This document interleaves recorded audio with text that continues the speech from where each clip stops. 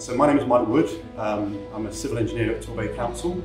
Uh, I'm working on case study 8 and looking at helping Exeter University and the other partners uh, develop the tools that we're going to use within the case study, which is looking at critical infrastructure and the direct and indirect uh, impacts of that for Torbay and Devon County. There's lots of modelling taking place. Uh, there's going to be uh, uh, impact modelling uh, taking place. We've got the, the modelling which is going to look at the actual flooding uh, and also the data we're going to be trying to get hold of for the critical infrastructure and problems surrounding that data and classification of the data and how public we can make it.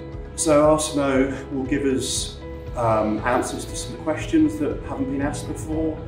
It could be to do with uh, traffic flows. The outputs could be used to help emergency planning.